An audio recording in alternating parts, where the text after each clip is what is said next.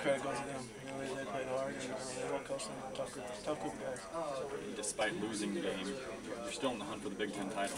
You guys still look at it that way, even though you, this is a downer.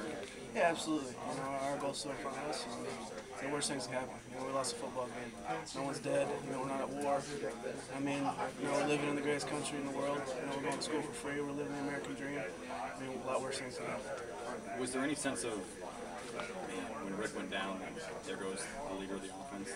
Well, you know, obviously, you, know, you see Rick hurt, and you know, you, you don't want him to be hurt. You know, he's a great guy, but uh, you know, James is a good guy. He's a competitor.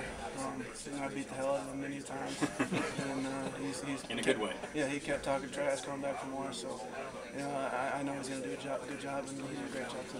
How, how do you guys rebound? Now you're heading to Columbus, which is not the easiest place to play. Well, I always gotta keep doing what we're doing. Know, continue to fight, continue to improve. Uh, we're gonna, we're gonna watch the tape. Uh, we're not, look, not looking too far ahead right now, but we're gonna watch the tape and we're get, ready for the toss.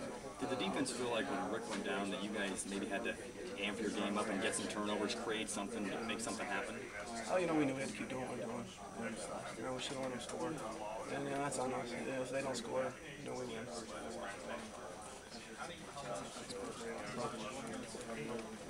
Now, Pat, we're, uh, you know, as the fourth quarter's kind of starting to wind down, the clock's ticking, you're just kind of waiting for something to happen almost the way this season's gone and the way your fourth quarters have been.